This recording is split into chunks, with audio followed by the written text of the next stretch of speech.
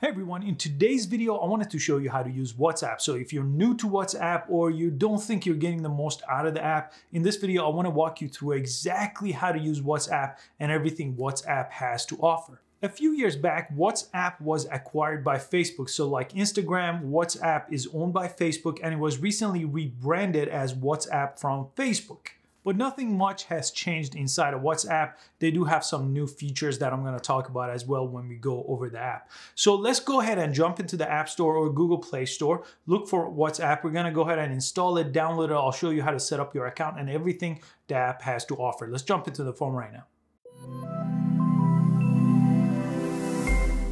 So what is WhatsApp? WhatsApp is basically a messaging app with the ability to make phone calls and to do video chat. You could also send attachments, photos, videos, and it's very popular because you could do all this for free just using your cell phone data. You don't have to pay any additional money for using the app. And at the time of the recording right now, WhatsApp has over 300 million active users. You could download WhatsApp, spelled exactly like this, from the App Store or the Google Play Store for Android, and it's a much more popular app on Android, especially outside of the United States, because of the free calls and text. I'm going to use the iPhone version here, but it's basically the same on Android. Let's look for WhatsApp here, and it's called WhatsApp Messenger. I'm going to open it. There's also WhatsApp Business, and it's a business version of WhatsApp that I have a different video about, so you could check that out. I'll link it in the description. Let's open WhatsApp here, and I completely deleted the app so we could start from scratch. This is the homepage. You have to press agree and continue, and WhatsApp will use your phone number to connect. It's a really simple process. So if you don't have an account yet, type in your phone number here and choose your country. Press done on top. And WhatsApp will most likely send you a verification text message to this number. Go ahead and type that in. And now you could enter your name and add a profile picture, which is optional. I'll just go ahead and type in my name here and I'll press done. And now we have our account set up. So let's look at the app. The main menu is on the bottom of the page. You have status, calls, camera, chat, and settings, and we'll go through the most common ones here. Most used option is sending a message to someone else. So you could get there by clicking the chat icon. And here you basically have a couple of options. You could tell a friend about WhatsApp. That's for people that don't have WhatsApp and you could basically send them an invite. If you press that, you could mail message or more and let them know to download WhatsApp or you could start messaging. To start messaging, you could press start messaging here, but the easier way is to press the compose icon on the top right. And because I give it access to my phone number in the beginning, it has access to my contacts here. So I, could see exactly which one of my friends and family members here in alphabetical order have WhatsApp. I could search on top for their name by pressing the search option, or I could press new contact and I could add someone with their phone number here to WhatsApp. If you don't see them here, they probably don't have WhatsApp installed on their phone, so you have to go ahead and invite them on the previous page. You could also press new group chat here, and it's gonna allow you to, as you could see, add 256 different people to the group and then you could go ahead and message that group if you wanted to use it as a group chat. We won't do that here. We'll just go ahead and search for someone that we want to send an individual message to. And I'm going to send a message here to Jordan. So I'm going to select his name and we're inside of that chat window now. Let's look at the options we have here. Right here in the center, we have the plus sign. Go ahead and press plus. Plus will give you access to camera, photo library, documents, location, and contacts. So you could go ahead and send any of these options here as an attachment. That's what the plus option does. So if I press photo and video, for example, I could go ahead and select a picture of my dog here. And if I press the airplane icon on the bottom right, it will simply send that to Jordan just like that. In the middle, you have the chat window. So let me select the chat window here and the keyboard will come up where you can type. So simply type your message here and then press the send icon again on the right side and it will send that message. That part is pretty straightforward. Next to it, you have the sticker icon inside the chat window, and then you'll have to add stickers. By default, they don't come. So if I just press add stickers here, it's gonna give me a bunch of different folders of stickers in different categories. So let's say the cuppy one, the coffee mugs, I could go ahead and press the download icon and then it will be added. So now if I go back, you could see I have those available.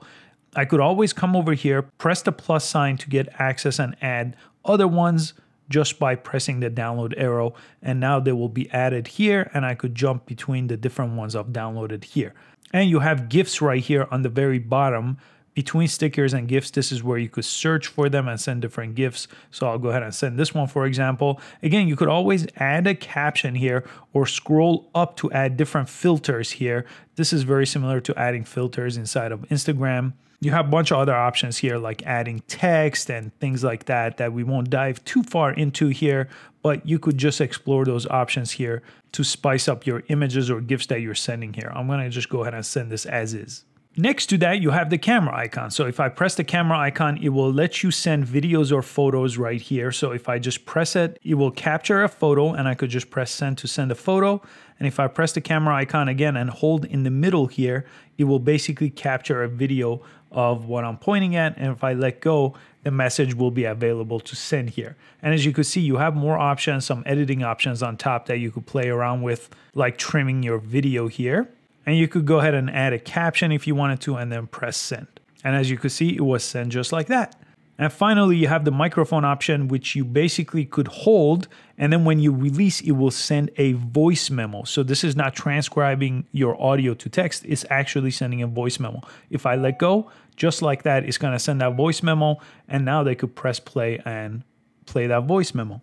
If you change your mind, you could actually hold on any text message that you've sent, video, text, or photos, and you will have an option to star it as your favorites, reply here, or delete it. If you delete it here, let me go ahead and press the garbage can. It's been selected. I could do it to multiple photos and videos. Press the garbage can and say delete for everyone or myself. If they haven't seen it yet, you could delete for everyone and it will disappear. It will say that it's been deleted, but it's a good way to take back something you didn't mean to send. And on the same chat page, you could make calls to that person or to the group here. And you could also video chat. Both of the options are on the top right of the page. So if you press the phone call option, it will call that person based on their phone number. And if you press the video option, it will do the same thing for video chat. Let me exit here and go to the main page of the app again. Now back here on the chat page, let's look at a couple of other options. So you have your camera option on the bottom menu. If you go there, it's exactly what I just showed you where you could take photos and videos. So if you press this and take a picture here, it's gonna allow you to send this picture to someone that you choose here. It could be frequently contacted person, recent chat, or you could go ahead and search but I feel like it's an easier option just to do this inside of the chat window rather than the camera icon. So I never use the camera icon there. And you have your call option. If you jump into the call option, it's to show you your outgoing calls, or you could press the phone plus icon on top and get access to your list of contacts that are using WhatsApp or create a group call here. Again, I like to do everything in the chat window. So the app basically just is the chat window to me where I could do everything I want to and never use the camera or calls icon. But from time to time, I do use status. So let's jump into status. And status, if you've ever used Facebook, is basically the same process. You could do text, photo, or video status. To do a text status, press the pencil icon here Type in the text that you want. On top, you could change the background color if you press the top right option. And the font option is that T that will change the font.